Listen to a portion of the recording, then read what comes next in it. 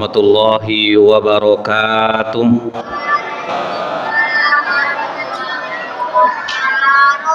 Innal hamdalillah nahmaduhu wa nasta'inu wa nastaghfiruh wa na'udzu billahi min shururi anfusina wa min sayyiati a'malina may yahdihillahu fala mudhillalah wa may yudlil fala hadiyalah Ashhadu an la ilaha illallah wahdahu la syarikalah wa ashhadu anna muhammadan abduhu wa rasuluh Allahumma salli wa sallim wa barik ala hadzal nabiyil karim wa ala alihi wa sahbihi ajmain. Bapak Ketua Masjid beserta pengurus yang saya hormati, Bapak Ketua Yayasan dan juga bersama pengurus yang saya hormati, alim ulama, tokoh masyarakat, cerdik pandai, Bapak Ibu, orang-orang tua yang saya muliakan, para remaja, hadirin hadirat dan anak-anak yang semoga kita semua senantiasa dirahmati oleh Allah. Kembali kita awali dengan rasa syukur kepada Allah. Alhamdulillahirrabbilalamin. Allah mempertemukan kita di bulan Muharram ini. Semoga amal Bapak Ibu, baik itu dalam bentuk solat-solat sunnah, zikir, baca Quran, dan puasa, Mudah-mudahan setahun ke depan ini diampuni Allah segala dosa insyaallah. Bersolawat kita kepada Rasulullah sallallahu alaihi wasallam dengan ucapan Allahumma shalli ala Muhammad wa ala alihi washabbi wasallim. Semoga dengan banyak kita bersolawat kita mendapatkan syafaat di yaumil akhir kelak. Memang banyak para ulama Pak mendoifkan hadis masalah keutamaan hari raya anak yatim di bulan Muharram. Tetapi kalau kita lihat di kitab Tanbih Al-Ghafilin di dalam hadis nomor 212 di situ pun ulama mengangkat tentang hadis ini. Orang yang mengusap kepala anak yatim bagaimana dia mendapatkan pahala yang sangat banyak menyantuni anak yatim sampai ada cara mengusap kepala anak yatim di dalam kitab itu. Tapi terlepas daripada itu, kenapa di Indonesia ini dijadikan tradisi, Bu? Karena bagus mengawali tahun itu dengan menyantuni anak yatim di tanggal 10 Muharram ini dengan maksud untuk supaya lebih doa-doa kita ini dipenuhi oleh Allah. Karena kata Rasulullah apa Pak?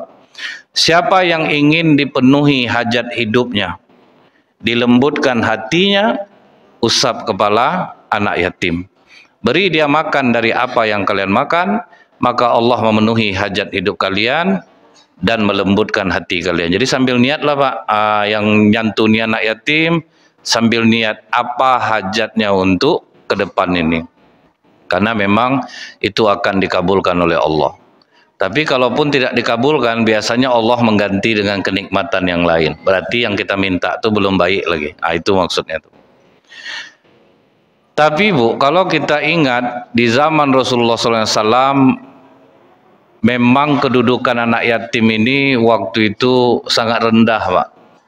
Rasulullah sendiri mengalaminya, Bu jadi kalau udah terkumpul bayi-bayi di Mekah itu, kemudian nanti disampaikanlah ke Bani Sa'ad bahwa bayi-bayi sudah terkumpul, silahkan jemput untuk disusukan. Jadi waktu itu Bu, menjadi kebudayaan orang Arab, anak bayi ini dicarikan ibu susuannya dan dicarikan orang-orang baik, Pak. Kebetulan Bani Sa'ad itu, Bu, ibu-ibunya itu tutur katanya terjaga.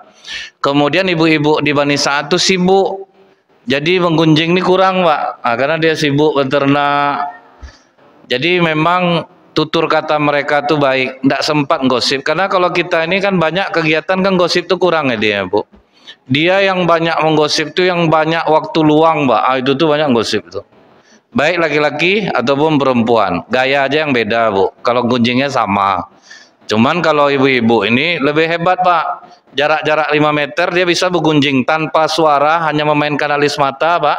Tahu lawan bicara itu maksudnya. Itu aja kelebihannya bu. Kalau kami ini agak lebih wibawa lah. Nah, tapi gunjing juga gitu. Jadi semakin sukses orang, semakin kurang keingintahuannya terhadap aib orang lain. Ah itu dia, Pak. Jadi ibu-ibu sibuk nih latihan rabana bagus tuh Bu. Sibuk pengajian tuh udah mantap tuh Bu. Jadi agak kurang menggunjing nih. Kurangi waktu luang Bu. Dia gini Bu ya, saya lihat yang membuat kita bergunjing nih kalimatnya satu Bu. Masa iya itu tuh yang membuat panjang tuh. Iya Pak, ketemu di pas ngantar anak. Kakak tahu ndak kak, suami Bu Eli udah lima hari ndak pulang-pulang Masa iya? Ah, gara-gara masa iya itu lah pak. Anak udah ngantuk di belakang bu, mama pulang lagi, ma abang ngantuk ma. Kena tatar lah anaknya pak. Abang ada ndak diajar gurunya di sekolah sayang? Kalau orang tua lagi ngomong ndak boleh kita potong. Saking asiknya begunjing tuh pak. Itulah kalimat yang memperpanjang tuh bu. Kadang ibu-ibu pengajian tuh rentan juga tuh bu. Kadang kami kan dipesankan tuh Pak Ustadz nanti ceramahnya uh, setengah jam aja. Biasa kan sejam Pak ya. Karena kami ada menjenguk suami kawan uh, sakit. Uh, dia udah pulang dari rumah sakit. Kan diumumkan sama ketua majelis taklim itu, ibu-ibu nanti selepas uh, ceramah kita akan berkunjung ke rumah Bu Des, misalnya ya. Suaminya sudah pulang dari rumah sakit. Nah, kan habis itu saya ceramah tuh Pak ketua nih duduk yang di sebelah tuh ibu tuh nanya bu kan nampak dari depan tuh pak? Sakit apa kak? Ah, mulailah dari dari mimi ah itulah kak. Jadi ah, saya di depan nih pak. Nanti datanglah ibu yang ketiga yang bijaksana gitu. Tidak boleh kayak gitu. Eh itulah kakak kakak ah bisa pak Ibu tahu enggak, saya diwiri ibu-ibu ini dari tahun 2003, Bu. Jadi mimik-mimik itu tersalin sama saya langsung, Pak. Mimik wajah, cara, nah, itu tersalin sekali itu, Bu. Tuh kalau misalnya yang di majelis taklim ibu-ibu nih Pak, ada kadang pakai geng-gengnya, Pak. Uh, kalau dia duduknya misah biasanya tuh, Bu. 10 orang nyandar di sini, itu geng Bu RT.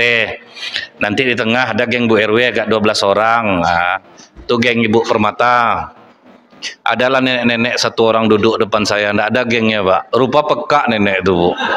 Itu nyata loh pak. Nah, tidak ada geng ibu, karena tidak juga guna diajak ngomong pak kan. Nah jadi bu, rupanya pengaruh bu terbukti di dalam ilmu kedokteran kecerdasan anak turun dari ibu. Jadi kalau ibunya baik, dia menyusukan anak, insya Allah dia juga mendapatkan anak yang baik. Besar pengaruhnya, Bu. Ibu yang baik itu besar pengaruhnya, Pak. Jadi jangan dibilang tidak berpengaruh dia jadinya. Makanya orang-orang Arab pada saat itu, Bu, karena tahu Mekah itu udah rusak, dicarilah perempuan-perempuan baik untuk menyusukan. Jadi ketika ada seorang anak laki-laki memukul kepala ayahnya, nah, dewa ya, ditangkap oleh oleh ayahnya itu, dibawanya ke hadapan Khalifah Umar bin Khattab. Ini anak durhaka Khalifah, dia berani melayangkan tinjunya ke mukaku. Apa kata anak ini? Wahai Khalifah, apakah kalau kami anak ini nakal itu murni kesalahan kami atau ada tidak kesalahan orang tua kami? Apa sebetulnya kewajiban orang tua kepada anaknya? Yang pertama itu apa kata Khalifah Umar Bu? Memberikan nama yang baik untuk anaknya. Nama aku dikasihnya Jual Khalifah. Jual itu artinya kumbang kelapa yang busuk baunya. Itu dia artinya nama anak itu Pak. Apa kata Umar bin Khattab? Bapak telah lebih dahulu durhaka kepada anak bapak sebelum anak bapak mendurhakai bapak. Itu satu kemudian memberikan air susu ibunya. Ah, itu.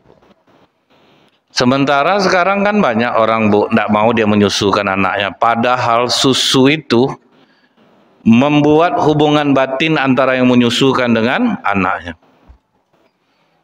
Jadi ingat saya bu ya, pernah ada TKW Indonesia pak. Dia kerja di Arab Saudi, cuman sering bolak-balik masuk kamar mandi. Sampai risau majikannya, Pak. Aku suka dengan pekerjaanmu ini, cuman kenapa kau sering keluar masuk kamar mandi? Kata dia, sebulan sebelum saya berangkat ke sini nyonya, saya melahirkan anak laki-laki dan saya sempat menyusukannya. Jadi setiap kali anak saya haus di Indonesia, dada saya mengeras Di situlah saya harus memerah air susu saya di kamar mandi. Ah, itulah hubungan batin antara ibu dan anak. Ibu ingat tak waktu nyusukan anak? Ke mana pun ibu pergi pasti ibu tahu kapan anak ibu haus. Betul tak bu? Nah sekarang bu, dada sapi yang mengeras bu. Karena banyak orang disusukan sama sapi pak, air susu sapi. Jadi sapi itu kadang heran dia bu, eh mengeras susu aku. Ah, berarti anak aku sakit. Makanya kalau pas Idul Adha itu ramai anak-anak ngumpul pak. Karena tahu dia inilah zapanya bangsa mak aku yang telah menyusukan aku sedari aku kecil. Ya di situlah tuh cobalah anak-anak ini dimarahkan. Keluar lenguh sapinya bu. Jangan main game juga besok sekolah. Oh, kan macam lenguh sapi itu pak. Pindah dia. Ini bentuknya santai pedih sebetulnya nih bu mungkin ibu terasa Ustaz nampak nembak aku ya dari tadi nampak ini terasa macam itu bu saya tanya sama dokter anak pak Dok, iya enggak dok? Ada ibu-ibu nih yang enggak mau keluar air susunya ketika melahirkan. Kasus itu jarang Ustadz. Biasanya kalau Allah udah ngasih anak ke seorang perempuan, Allah udah siapkan kok makanannya. Ah, itu pula dia bu. Jadi kasus itu jarang. Nah saya kan melebar nih ya bu ya, melebar dari tadi melebar nih. Saya ingin ibu kasih tahu ke anak ibu, ke menantu ibu bahwa berpengaruh besar penyusuan seorang ibu kepada anaknya. Semakin berakhlak mulia seorang ibu, akan berakhlak mulia pula anaknya. Makanya orang Arab lebih cenderung mencari Bani Sa'ad untuk menyusukan anaknya. Setelah bayi terkumpul di Mekah, dikirim kabar ke Bani Sa'ad, maka orang Bani Sa'ad mempersiapkan perjalanan. Di antara yang berangkat itu termasuklah Halimah Tusa'diyah. Di antara yang berangkat itu pula dia yang paling miskin. Saking miskinnya Halimah ini Pak ya. Onta betinanya yang dia bawa itu sudah tidak lagi mengeluarkan susu. Keledai sudah lemah. Jadi sepanjang jalan tuh Bu, anaknya yang bernama Saimah, kakak susuan Rasulullah itu, menangis-nangis Pak karena tidak dapat air susu ibunya. Jadi melambatlah jalan orang nih Bu karena jalan Halimah Sa'diyah dan suaminya melambat, tetangganya lah yang lebih dahulu sampai ke Mekah. Semuanya pertama ingin ngambil Rasulullah, Bu. Tapi begitu tahu dia yatim, tidak jadi, Pak. Karena menyusukan anak yatim upahnya murah. Tidak mau. Asal ditanya, eh aku maulah anak ini, bapaknya mana? Bapaknya udah meninggal. Tidak jadi, Bu. Jadi kedudukan anak yatim itu sedih di zaman Rasulullah. Kalau sekarang alhamdulillah kita udah tahu agama, bagaimana menyantuni anak yatim. Insya Allah anak yatim sekarang nih Pak, bahkan ada yang masih hidup ayahnya Pak ngaku meninggal kadang Pak, karena lumayan amplopnya Pak. Lumayan amplopnya. Jadi ya kadang Pak donatur ini dia suruh nyari orang masjid. Carikanlah anak yatim, anak yatim sedikit Bu, terpaksa yang enggak, enggak, masih ada bapaknya disuruh jadi yatim. Termasuk anak saya waktu itu pak. Hotel jatra pak. Aduh saya ceramah anak saya masuk rombongan anak yatim.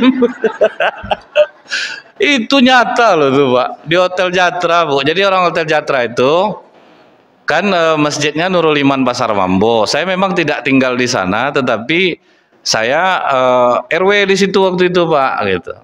Jadi karena kurangnya jumlah anak yatim tidak mencapai kuota dibawa-bawa lah anak nih pak.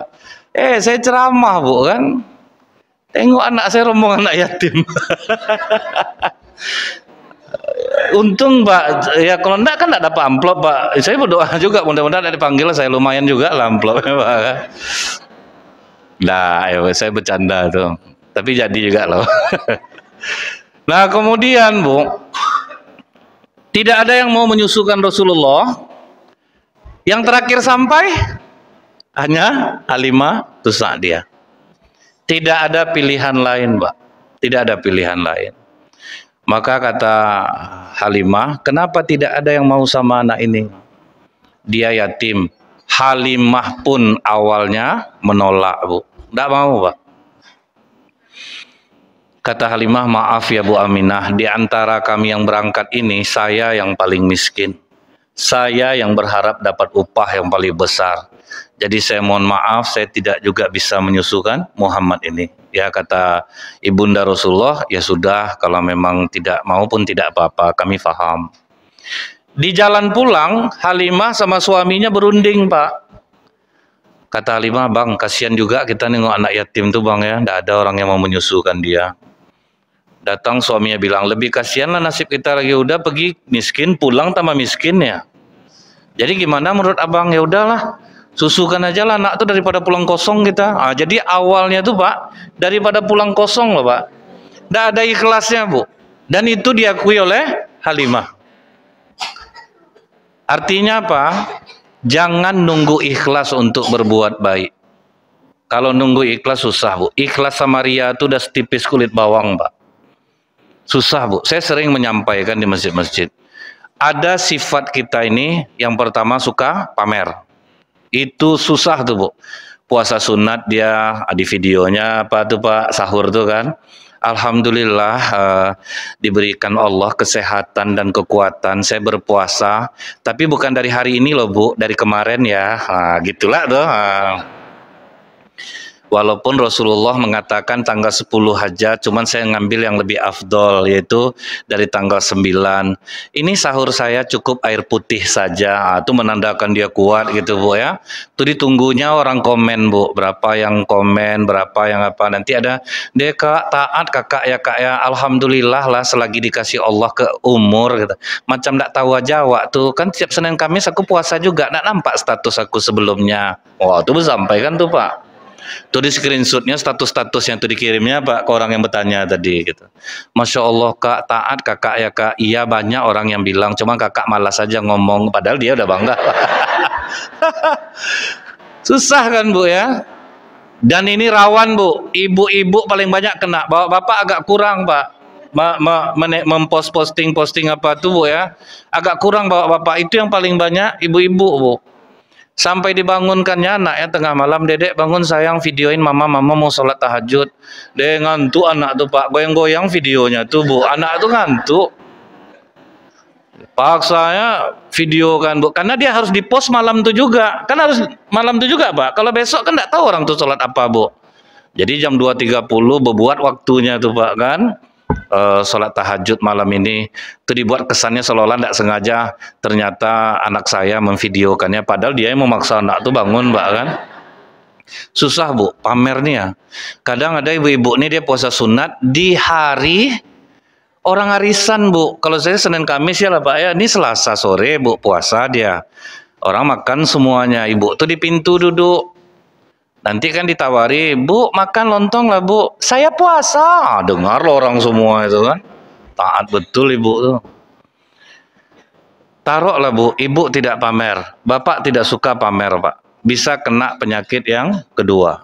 Sum'ah. Ah, itu ngeri juga tuh Bu. Sum'ah nih Bu, ibu tidak pamer Bu. Cuman ibu suka dipuji. Bu, ya saya kan kebetulan keluarnya terakhir tadi di masjid pas sholat isya. Terus nggak sengaja dengar pengurus cerita tentang ibu. Cerita tentang saya, cerita apa? Ibu banyak ibu nyumbang di masjidnya bu. Ya itu cerita pengurus tadi bu. Astagfirullahaladzim, masa itu cerita pengurus? Iya bu, aduh ndak enak hati saya padahal saya ikhlas tuh. Tuh apa-apa aja cerita bapak-bapak tuh lagi. Ada, mulai. Ya, rawan lah pak? Rawan pak. Jadi nggak usah bu cerita kita bisa ikhlas tuh. Udah nggak bisa. Kami ustadz nih kata ibu ceramah nih ikhlas. Sudah ada loh pak. Walaupun kadang dikasih amplop macam-macam terkejut gitu bu ya ndak terima pak ndak ada ya walaupun eh apa nih pak aduh aduh nah enak terima juga ini saya membilang diri saya sendiri nih ya pak ya tidak banyak juga kok Ustadz ikhlas cuma kalau saya belum berani lagi Pak. Tidak berani ya. kadang sudah banyak yang apa tuh Bu ya sudah dia memang dia kami keluar cepat-cepat tuh kan supaya dikejar tuh Pak. Kalau tidak melambat kami Pak. Nah Bapak coba lah. Kan kadang-kadang keluar tuh cepat-cepat ya Pak. Ah, Pak saya keluar Pak tidak Bapak ke pintu Pak. Melambat percayalah pasang sepatu buka balik bu. Belum juga keluar lagi. Pasang balik. Buka itulah tuh pak. Walaupun macam basa-basi gitu ya bu ya. Susah bu. Kalau untuk ikhlas kita nunggu berbuat baik itu pak. Susah pak. Ibu tidak pamer, bapak tidak pamer. Kemudian bapak tidak pula sumah, pak. Tidak suka lah dipuji orang, biasa aja bapak. Dipuji, alhamdulillah, kembalikan kepada Allah Jadi Bapak udah ikhlas nih, Bapak tulislah hamba Allah. Tiap nyumbang, hamba Allah. Tiap nyumbang, hamba Allah. Udah aman bu, tidak ada pamer, tidak ada sumah. Datang pula lah kadang orang mengganggu kita nih pak. Pak Haji, ya. Pak Haji, ada masalah sama pengurus masjid atau ibah, misal gitu ya pak. Enggak, ngapa gitu? Enggak biasanya ada ya, nama Pak Haji nyumbang nih udah berapa bulan nih enggak ada lagi. Ah, tutup mulut kau ya. Itu yang ngamba Allah tuh aku tuh. Aku segan nulis nama tuh akan tersebut sama aku jadinya nih. Ah, itu bu susah. Jadi dari kisah Halimah ini kita tahu bu, jangan nunggu ikhlas.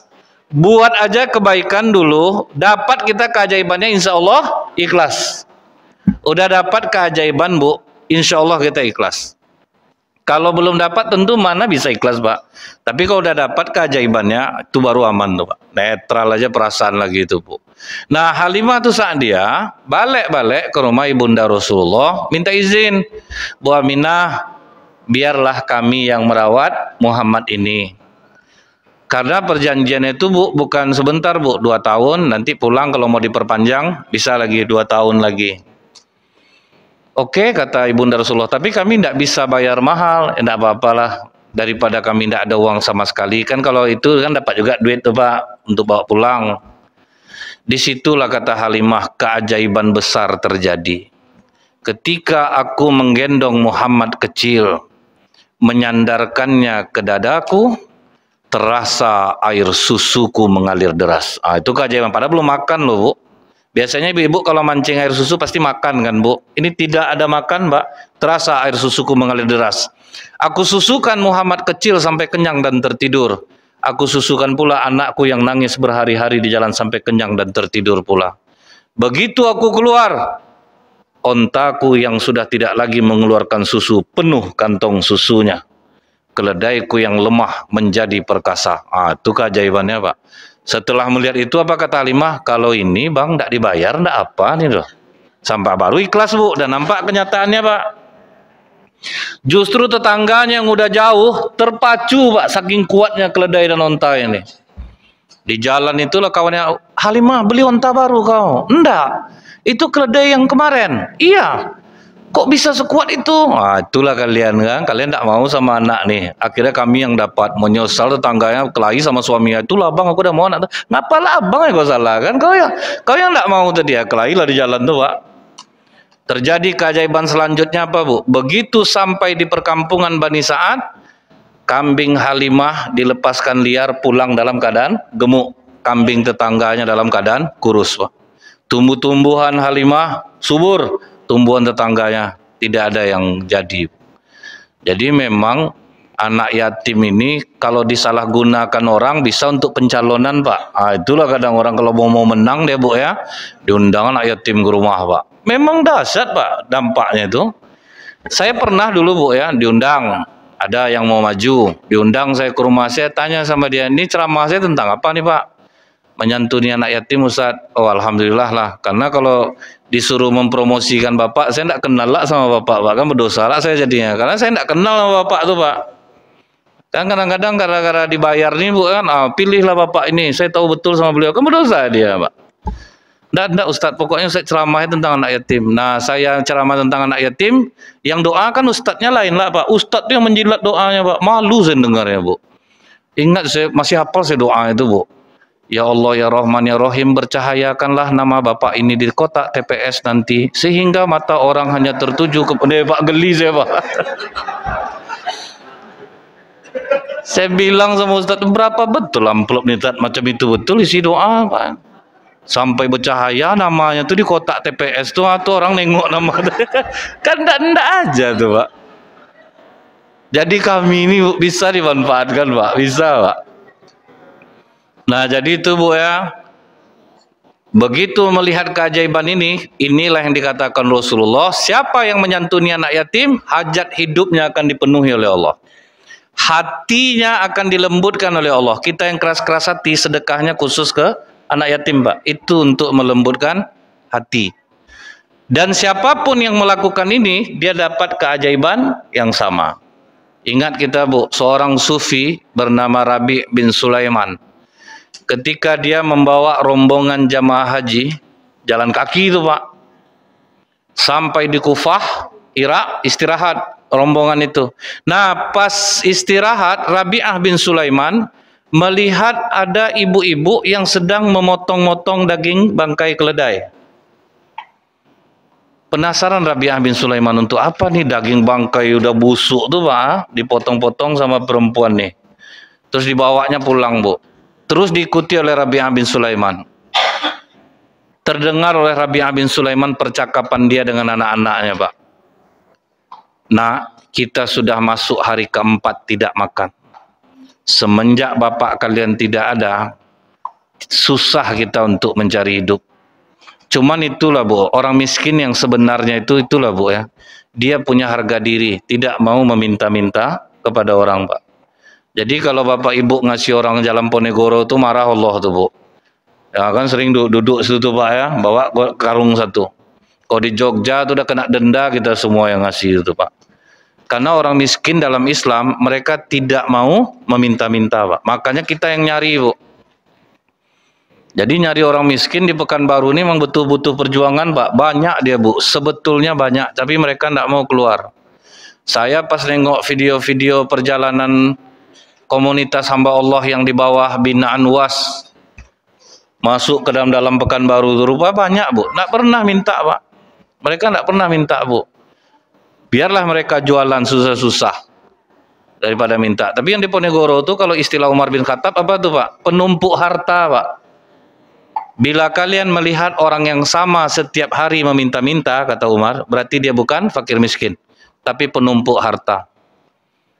Waktu dikejar Satpol PP, bu mobil rupanya orang tuh pak. Eh, itu bu, ada memang ada yang ngomong, pakai mobil dia kebetulan jualan pak dekat pagar-pagar MTSN tuh. Jadi tahu dia, deh rupanya tat pakai mobil tat, ah, jemputnya itu pak. Jadi memang udah seperti sindikat itu bu. Ah, orang kita suka betul ngasih orang-orang macam itu tuh Pak kan. Eh kasihan kita nengok bajunya, tengok karungnya. Akhirnya tambah rame dia jadinya Bu. Rasulullah menyuruh kita kalau bersedekah kepada siapa Bu? Karib kerabat, orang-orang dekat. Kalau orang-orang dekat Pak, kadang gayanya bagus Pak. Rupa dia sedang payah hidupnya. Itu yang kita tahu Bu. Ibu tahu enggak di Jakarta pengemis tertangkap bawa gerobak uangnya ratusan juta Pak. Kemudian ada yang pakai mobil, pakai sopir lagi pak. Wah bayangkan oh, bapak tuh pakai sopir bu. Saya pernah nih bu ya di Bank BRI. Pengemis tuh tahu betul saya dia selalu di, di depan pintu masjid. Nasabah khusus pak. Ah, berapa kira-kira tuh bu? Nasabah khusus bu. Kalau masuk ndak antri dia pak. Sekantong besar tuh disapanya lah saya bu. Tat katanya. Ah nggak apa-apa nyetor. Banyak duitnya bu. Jadi udahlah yang seperti itu janganlah. Tarif kerabat orang-orang dekat itu yang kita utamakan kalau mau bantu. Nah jadi kemudian Bu ya, Rabi bin Sulaiman ini mendengarnya apa? Kita dalam keadaan darurat nak, hanya daging bangkai keledai ini yang bisa ibu bawa pulang. Kalian cuci bersih-bersih, kita masak, kita makan. Mendengar itu ndak sabar Rabi'ah bin Sulaiman bu. Langsung assalamualaikum assalamualaikum. Buka ibu tu pintu. Disembunyikannya daging bangkai tadi. Maaf bu saya mendengar percakapan ibu. Tolong buang daging bangkai itu biar saya yang mencarikan uangnya untuk makan tapi tolong buang dulu bangkai itu Nah dilelang dulu oleh Rabi'ah bin Sulaiman ke rombongan haji itu pak ada ndak kalian nyumbang kita sedikit kita bantu. Ini ada seorang ibu-ibu punya empat orang anak yatim, anak-anak udah udah empat hari nak makan. Karena bu, secara ilmiah orang tidak makan itu masih bisa tahan seminggu. Tapi kalau tidak minum tiga hari pak. Jadi kalau masih minum itu masih bisa ada tahan.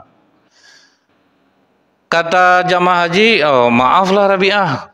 Bukan kami tidak mau, kita bawa uang pas-pas. Tiga bulan pergi, tiga bulan pulang. Jadi tidak mungkin kita harus membantu dia. Kata Rabi'ah bin Sulaiman, kalau begitu biar aku yang membantu, kalian yang berangkat. Karena uang aku mau kuberikan semua kepadanya. Supaya selesai ekonomi dia nih gitu. Kalau bantu sedikit-sedikit, tentu dia kelaparan terus Pak. Dikasih duit besar, ongkos dia naik haji, dikasihnya, berusaha lah. Berarti kan dia tidak naik haji jadinya Pak. Jadi bu dikasihnya, ditunggunya lah jamaah haji itu pulang balik. Selama di Kufah kerja lah Rabi'ah bin Sulaiman nih pak. Tapi bu begitu mereka pulang, ada salah satu rombongan itu mengatakan, Rabi'ah kau ingat ndak di Mina kau nitip uang sama aku? Sampai bingung Rabi'ah bu, dia ndak berangkat tapi kata kawannya dia menitipkan tas uang kepadanya dipeluknya aja tas uang tuh tapi tidak dibuka ya pak. Cuman pas dia tidur malam dia mimpi bertemu dengan Rasulullah Sallallahu Alaihi Wasallam. Dan apa kata Rasulullah? Siapa pun yang bermimpi bertemu dengan aku itu adalah benar. Karena iblis tidak bisa menyerupai aku. Dalam mimpi itu rasa-rasanya kata dia Rasulullah berkata sungguh mulia hatimu Rabi'ah. Seharusnya kau mengeluarkan uang itu untuk berangkat menunaikan ibadah haji tapi kau berikan kepada seorang ibu yang dalam keadaan susah anak-anaknya sampai tidak makan. Allah memuliakan apa yang telah kau lakukan dengan mengganti cash uangmu di dunia dan kemudian menyerupakan malaikat menjadi wajahmu untuk menunaikan ibadah haji setiap tahun. Jadi yang ditengok kawannya itu Pak, wajah seperti dia. Tapi ini Allah alami Tapi ini memang ada di di buku-buku tentang Rabi'ah bin Sulaiman. Kita pun bisa buka tuh kalau kita searching di Google siapa Rabi'ah bin Sulaiman. Jadi kalau ulama-ulama ini Pak bercerita tidak mungkin rasanya mereka berdusta karena memang tidak ada gunanya bagi mereka. Tetapi keajaiban-keajaiban seperti ini tidak bisa pula sembarangan orang bu. Ah, ini kadang-kadang diubah-ubah orang jadi ya, Pak amalannya tidak seberapa Pak kan? Nah, itulah ceritanya gitu. Saya pernah hari hujan lebat Ustaz ya. Orang banyak berteduh saya baca ayat kursi sekali berhenti hujan. Tapi memang tak orang sembarangan bisa macam itu tat. Ustaz tahulah saya kalau puasa sunat tu Ustaz ah inilah apa eh? Padahal waktu hari hujan tu tukang ojek berdoa, anak sekolah berdoa bukan gara-gara doa dia, Pak. Cuman banyak orang merasa itu gara-gara doa dia. Mak dekat aku sama Allah ya. Sekali aja aku baca kursi berhenti hujan. Padahal sebanyak banyak orang berdoa, bukan? Nah jadi Bu ya, itu lihat bagaimana kalau kita menyantuni anak yatim. Itu keajaiban yang dirasakan oleh Rabi'ah bin Sulaiman. Sampai pernah seorang Yahudi masuk Islam gara-gara menyantuni anak yatim, Pak. Ada orang kaya muslim, misalnya di daerah ini ada orang kayanya, Pak. Jadi dia biasanya bulan Muharram itu ngasih anak yatim. Ada seorang ibu-ibu terlambat datang ke rumahnya, Pak. Terlambat datang, kata penjaganya, Oh nanti bu, udah selesai. Habis zuhur ibu nanti kemari. Pulanglah ibu ni ke rumah eh, anak-anak berlari langsung pak. Ada makanan ya bu. Kata bapak itu habis zuhur. Habis zuhur pergilah dia balik pak. Udah tutup rumah tu pak. Jadi tidak berani ibu ni pulang bu. Ditunggunya sampai asar. Karena terbayang dia wajah anak-anaknya sedih dia pulang pak. Akhirnya dia jalan bu Sampai dia di depan toko orang Yahudi kira-kira jam 5 sore. Menangis saja dia di depan toko itu. Keluar orang Yahudi ini pak. Ibu ngapa menangis? Saya takut pulang. Kenapa takut pulang? Karena saya tidak bisa membawa makanan untuk anak-anak saya. Memangnya suami ibu mana? Suami saya sudah meninggal. Padahal kalau dia tahu pak, kata dia tidak tahu nih orang Yahudi yang nanya. Rasulullah mengatakan orang yang menyantuni anak yatim itu akan bersama Rasulullah di surga sedekat jari ini, tapi dia tidak mendapatkannya. Allah akan memenuhi hajat hidupnya dan melembutkan hatinya. Dia pun tidak mendapatkannya. Mendengar hajat hidup dipenuhi itu, Bu, orang Yahudi ini tertarik, Pak. Ah, ini betul nih. Disuruhnya karyawannya potong beberapa kati daging, makanan, roti, bawa antar ke rumah ibu ini. Oh, semangat ibu ini disangka orang Islam juga nih, Pak, yang ngasih dia. Bawalah bu, diantar sama anak buahnya pulang. Wow senang hati anak jelang maghrib makanan udah banyak pak. Tapi malam itu bu, orang kaya muslim yang tidak jadi ngasih tadi mimpi dia pak. Dia mimpi rasanya kiamat sudah terjadi dan dia berada di surga dan melihat ada dua bangunan di surga yang sangat indah dari batu mata merah dan permata yakut. Jadi dalam hati rasanya dia dalam mimpi itu pak, rumah ini sangat indah. Rumah milik siapa ini? Terdengarlah suara bu. Sebetulnya rumah ini engkaulah pemiliknya. Jika engkau siang tadi memberikan bantuan kepada seorang ibu yang datang ke rumahmu yang memiliki anak yatim di rumahnya. Tapi karena kau tidak memberikannya, rumah ini tidak lagi menjadi milikmu. Karena sudah dimiliki oleh seorang Yahudi, namanya ini, alamatnya di sini, jualannya ini, lengkap dalam mimpi itu disebutkan, Mbak. Tersetak dia, Bu, sholat subuh dia ke masjid, balik sholat subuh dicarinya alamat di mimpinya itu, Pak. Setelah beberapa jam berjalan, jumpa lah orang Yahudi itu sedang nyapu tokonya, Pak. Pak, saya bisa bicara sebentar. Oh ya, silahkan. Ada apa? Sore kemarin ada enggak ibu-ibu datang ke sini? Diingat-ingat orang gede. Oh iya, ya, ada, ada.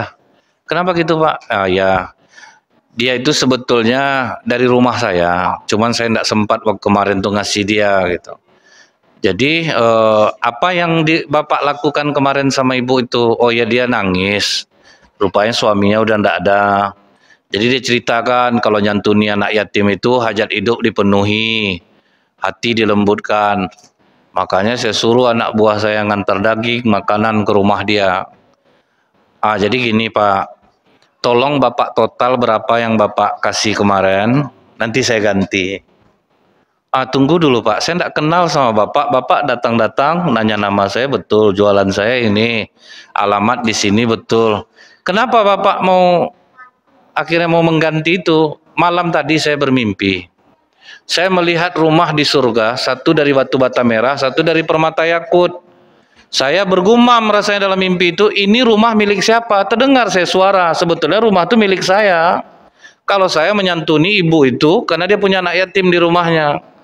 Tapi karena saya tidak ngasih, rumah itu berpindah kepada seorang Yahudi, katanya namanya ini ternyata kau orangnya, alamatnya di sini, ternyata kau orangnya. Jadi makanya aku datang kemari mau mengganti, tolong hitung berapa kemarin yang kau beri. Kata orang Yahudi itu kalau itu mimpi bapak, mana lah mau saya diganti? 100 gunung emas bapak ganti, nak mau saya. Terus kata orang muslim ini, percuma pak, kami meyakini surga itu hanya milik orang Islam. Kalau gitu saya masuk Islam, kata orang Yahudi itu. Bersyahadat dia dilembutkan Allah hatinya karena menyantuni anak yatim. Hati orang Islam ini bu, kadang di masjid keras-keras hati bu. Contoh pas Jumat itu bu, diumumkan Tolong bapak-bapak yang udah datang, yang udah hadir, diisi sub di depan yang masih kosong. Tanda keras hati, tidak ada yang mau maju, Pak. Pak Ji, maju Pak Ji. Aku mau nyando nih. Aku lah maju, kau lah maju keras hati, Bu. Jadi kalau untuk melembutkan hati, memenuhi hajat hidup, santunilah anak yatim. Mudah-mudahan yang sedikit ini bermanfaat. Lebih kurang saya mohon maaf. Subhanakallahumma bihamdika. Asyhadu alla ilaha illa anta. Assalamualaikum warahmatullahi wabarakatuh.